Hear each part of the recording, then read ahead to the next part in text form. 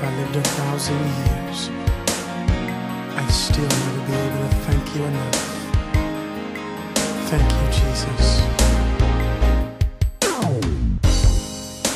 I think to myself, how did I survive?